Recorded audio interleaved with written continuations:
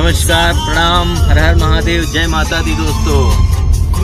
नवरात्रि के पावन पर्व आप लोगों के बिल्कुल करीब है, हम सभी के बिल्कुल करीब है। बड़े हर्षोल्लास के साथ हम सभी मनाते हैं और हम सभी कलाकारों के लिए बड़ी खुशी की बात है कि हमारे ज़िले के दो प्रतिष्ठित भाई,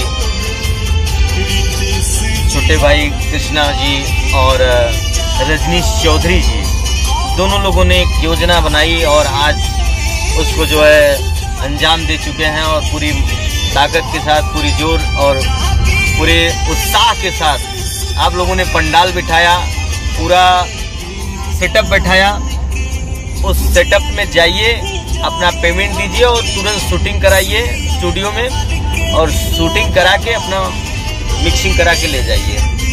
इतनी दिव्य व्यवस्था इन्होंने किया है। मैं इस व्यवस्था के लिए, आगे लोकगीत के लिए भी और भी छावनी के लिए कांवर भजन के लिए भी, कजरी के लिए, सारे मौसमों के प्रोजेक्ट के लिए आपसे बोलूँगा कि ऐसे ही पंडाल सजाएँ और ऐसे ही लॉन सजाएँ ताकि हम सभी कलाकारों को बाहर जाकर के शूटिंग न करा के यहीं पे कराने का अवसर प्राप्त हो, खुशी प्राप्त हो क्योंकि दोस्तों बाहर जाने के बाद बड़ा शोषण होता है हम सभी कलाकारों को। कितनी मेहनत से, कितनी गरीबी से, कितनी अच्छी बुरी परिस्थितियों का सामना करने के बाद चंद पैसे जुटाने के बाद हम लोग जाते हैं शूटिंग कराते हैं और जब वहाँ शूटिंग कराने के लिए जाते हैं तो वहाँ बड़ा शोषण होता है हम सभी लोगों के साथ। किसी न किसी तरीके से शोषण होता ही है।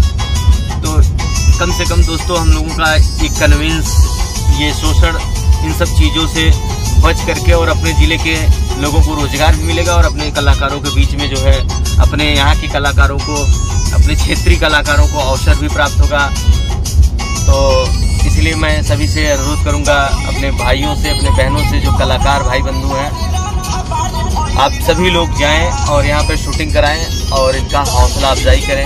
हम भी अपना प्रोजेक्ट तैयार कर रहे हैं शूट करेंगे बहुत जल्दी। इसलिए रजनीश जी को और कृष्णा जी को ढेर सारी शुभकामनाएँ, जय माता दी और सारे कलाकारों से अनुरोध है पुनः एक बार फिर से कि वो जा करके इस प्रोत्साहन में उनका चार चार लगाए। हर हर महादेव जय माता दी जय माता दी।